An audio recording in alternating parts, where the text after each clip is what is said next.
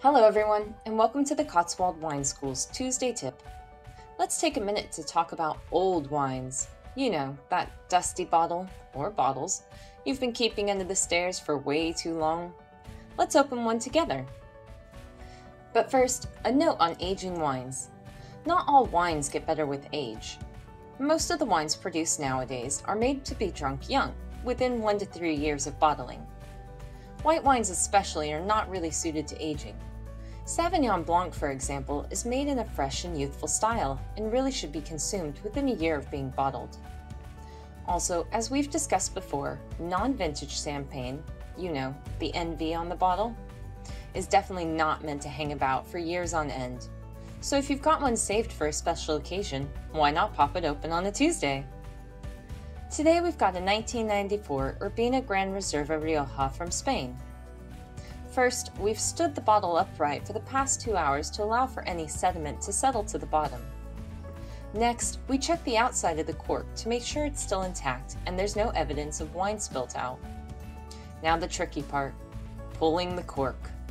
Be sure to take your time doing this as old corks are known for breaking apart. Now, smell that cork. Does it still smell of wine and not wet cardboard or mold? Well, that's good. It's best with old wines, especially old port, to use a sieve of sorts to help catch any sediment that might have accumulated over the years. We're using an aerator with a strainer to help decant. A general rule of thumb is to decant a bottle of red wine for around an hour for every 10 years of age, but of course everyone is different. Decanting a bottle of wine, white or red, can help the wine to fully show its true character. Imagine being stuck in a cramped space for hours or years on end. Decanting a wine is just like allowing it to stretch out its arms and legs. So long as your wine's retained its flavors and aromas, you'll most likely note the color first.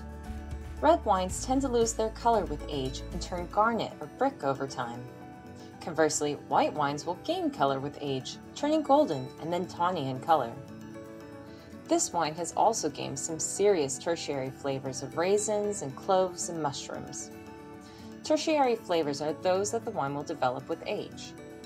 But remember, not all wines will age well, and it's best to do your research before laying one down.